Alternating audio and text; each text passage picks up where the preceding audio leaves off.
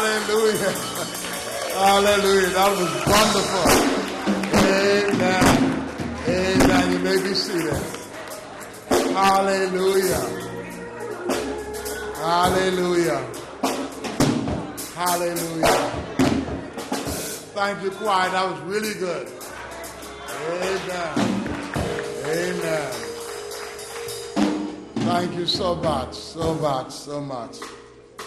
On Friday, the choir was supposed to practice, but the bus was down. We was trying to get it fixed.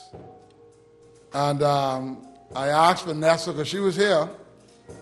She said, We'll be all right, Rev. You all shown up all right.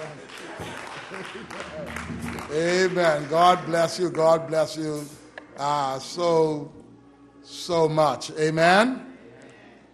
Thank God for all of you on this Thanksgiving Sunday.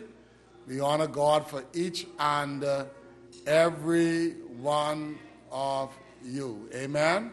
God bless and God keep all of you as we seek always only to do His will. Amen. Turn your book to the book of Judges. I'm going to preach from something you all never saw in the Bible before this morning. Amen. Amen. Amen. Amen. Amen. Amen. Amen. So I'll get your attention this morning. Amen. Bless the Lord. Judges chapter 1. Judges chapter 1. Mm-mm. I'm going to lift one verse, but you want to read that whole chapter, especially down to the 20th verse, to get the. I'll give you the story, when you go home, you'll be so excited you want to get home to read the rest of it. Amen?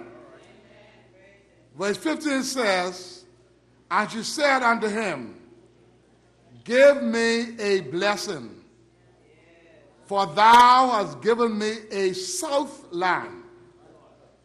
Give me also springs of water, and